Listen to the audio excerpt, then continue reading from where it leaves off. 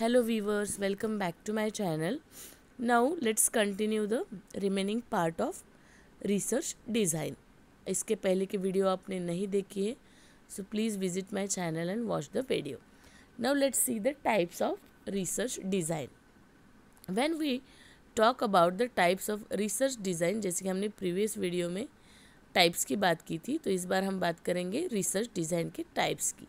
No first is that descriptive In a descriptive composition, a research is solely or the solely interested in describing the situation or cause under their research study.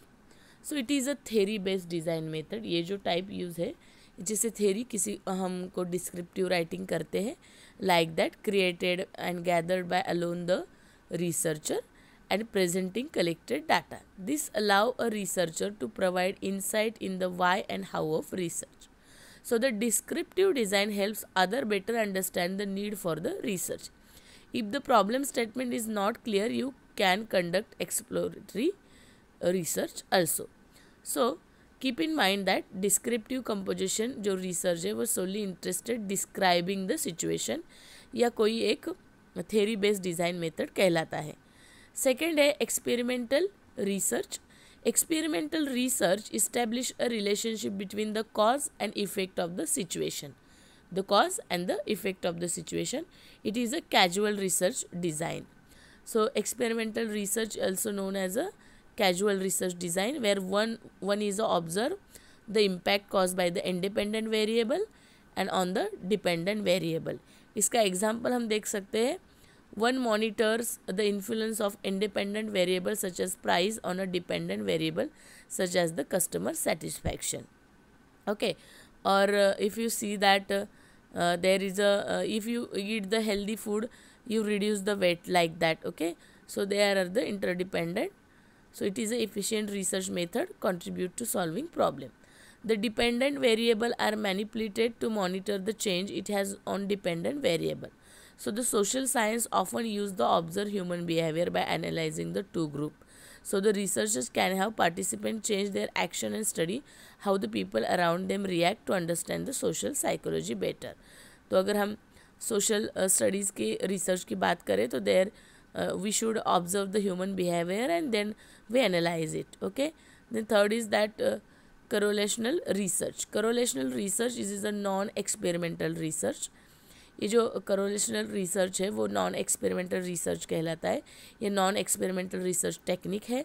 It help the researcher to establish a relation between two closely connected variable ये जो बात करता है, इसमें दो closely connected variable होते हैं। There is no assumption while evaluating a relationship between two other variables and the statistical analysis technique also like this type of research require two different groups correlations coefficient determine की बात करते हैं हम example के तौर पे। Between two variables whose value ranges between minus one and plus one if the correlation coefficient is towards plus one it indicate a positive relationship between the variables and minus one means a negative relationship okay then the fourth one is that diagnostic research in diagnostic research design the research is is looking to evaluate the underlying cause of specific topic or phenomena. This method help one learn more about the factor that create or the troublesome situation. So this design has three part of research. Diagnostic uh, research के three parts design बनते हैं पहला है inception of the issue दूसरा diagnosis of issue and the solution of the issue then next पांचवा हमारा आता है एक्सप्लेन एक्सप्लेनेटरी और the explanation explanatory research uh, that explanatory design uses a researcher's ideas and thoughts on the subject to further explore their theories okay so the study explain an unexplored aspect of the subject then what are the benefits of research design there are several benefits like clarity of research objective आप अगर आप अच्छे से research design कर लेते हैं तो आपके रिसर्च के ऑब्जेक्टिविटी में क्लैरिटी आ जाती है it provide a clear understanding of the research objective जिससे कि आपके रिसर्च के ऑब्जेक्टिव क्लियरली नज़र आते हैं। Then increase validity and reliability और the reliability to ensure the validity and reliability of result research design help the minimise the risk of bias and help to control the extraneous variables next आता है we are talking about the benefits okay? So the improve data collection research design आपके data collection को improve करने की, उसे systematically collect करने की help करता है, ये भी एक बेनिफिट है। Then better data analysis research design जो है, वो हेल्प करता है।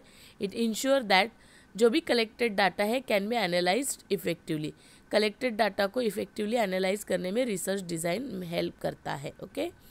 और इसका अनदर बेनिफिट है improved communication A well-designed research help ensure the result are clean and influential, influential, influential within the research team and external stockholders. Okay, तो एक वेल डिज़ाइन रिसर्च जो है कम्युनिकेशन को इम्प्रूव करने की हेल्प करता है then efficient use of resources reducing the risk and waste of the uh, maximization research design help to use the efficient resources okay so this is how the remaining part of, of our previous video that research design.